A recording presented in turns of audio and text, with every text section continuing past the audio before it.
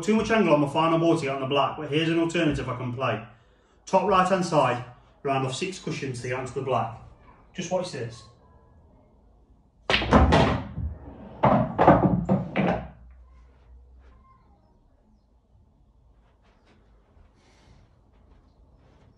That's perfect.